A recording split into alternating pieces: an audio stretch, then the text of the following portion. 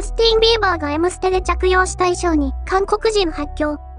戦犯機を身につけた、がネットで話題。内容はこちら。ジャスティン・ビーバーが M ステで着用した衣装に韓国人が発狂しているようです。では、小崎奈々さんのツイートより内容を見てみましょう。小崎奈々。ジャスティン・ビーバーに旭日帰避難。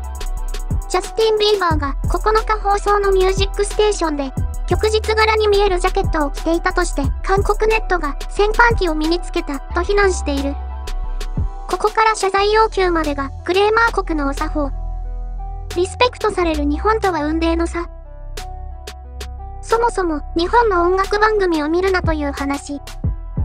ジャスティン・ビーバーは2014年に靖国神社を参拝して中国、韓国から抗議され謝罪したことがあるので、その成功体験をもとに韓国がまたネットで集団抗議する可能性もある。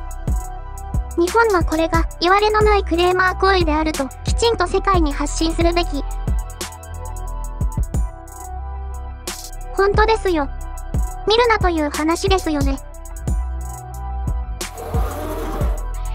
では次に、ネットユーザーの声の一部を見てみましょう。まずはこちら。うん、もういいよ。もううんざりですね。次はこちら。まさに日本にクレームを入れるために生きている民族ですね。常人にはとても理解できませんね。ナンクセ族はもう霊的に無理。霊的に無理は草ですね。次はこちら。わざわざ他国の番組見てまで難癖をつけるなんて。日本が大好きなんだね。気持ち悪。なんで見てんだよわら。ですよね。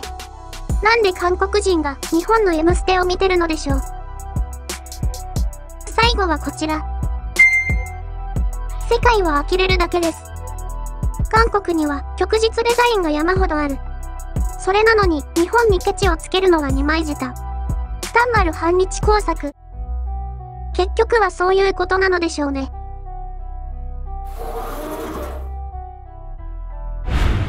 結論。ジャスティン・ビーバーにまで批判の矛先を向ける韓国人。こんなことをやればやるほど、世界から孤立するだけだと思います。しかし、ジャスティン・ビーバーが着ているジャケット、超かっこいいですね。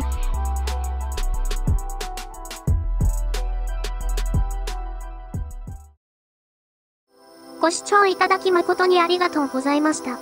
まだチャンネル登録がお済みでない方がいらっしゃいましたら、チャンネル登録していただけますと、今後のチャンネル運営継続と、質向上のための励みになります。ぜひ、この機会に、チャンネル登録のほど、どうぞよろしくお願いいたします。